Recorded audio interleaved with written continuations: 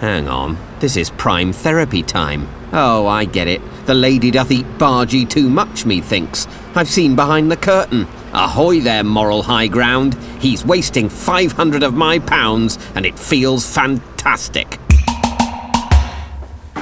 Hi, Jez. How was your session? Oh, good. Yeah, amazing.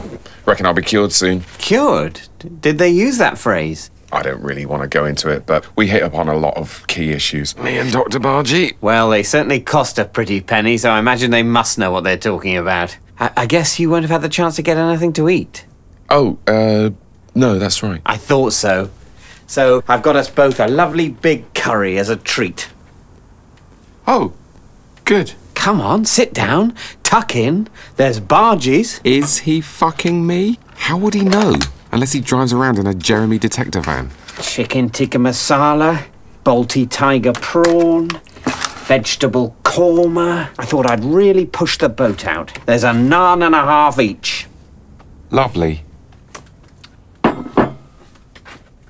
So, are they any particular school, your therapist, Jez? I'm interested. Oh, you know, a mixture. A mixture. That is interesting. Have some of the lamb pasanda. It's incredibly rich and creamy. You're such a bastard. I've bought you a lovely curry. What's wrong with that? You know, don't you? You know exactly what's wrong with it. No.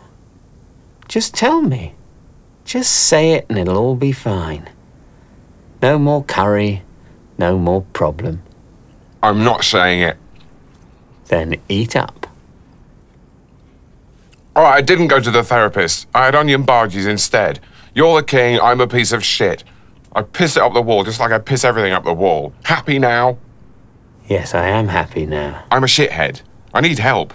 I need therapy.